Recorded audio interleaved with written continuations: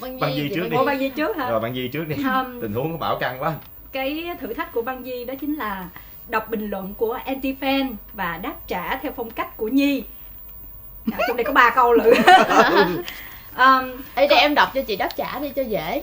Fan á fan. em là fan này em là anti fan nha. Ừ. Đóng cảnh giật chồng đạt như vậy chắc ngoài đời cũng vậy ha phản ứng phản ứng. Phản ứng phản ứng. Phản ứng của Nhi nha. Phản ứng của Nhi nha.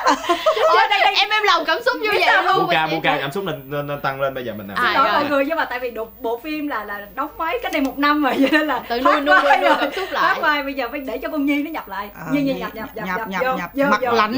Mặt lạnh mắt có tình cảm gì vậy lạnh đó. hỏi là gì? Đọc Đây, ờ, để- để em chồng này gì hội đó. thiệt đó. Nè bây hỏi giờ mặt đó. anti fan nói thiệt vô mặt chị nói thẳng vô mặt luôn rồi nha đóng cảnh giật chồng đạt như vậy chắc ngoài đời cũng vậy ha.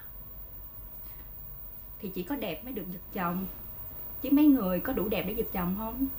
Trời thiệt luôn. Bị nhập vậy. Rồi nha người câu hai nha. Bị đánh như vậy là chưa đủ. Phải để hân tác cho vài cái nữa mới đủ.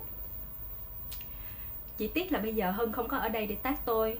Mấy người thử tác qua màn hình đi Tách cho nét màn hình đó. Tác giùm. Mọi người mà nhắn vô lỡ câu mà nhắn vô gửi Buka tác giùm là sao ờ, gửi một ca tác giùm. Rồi sao? Cái này nguy hiểm. Rồi nha câu thứ ba nha. Gương mặt cô này nhìn là thấy ghét rồi.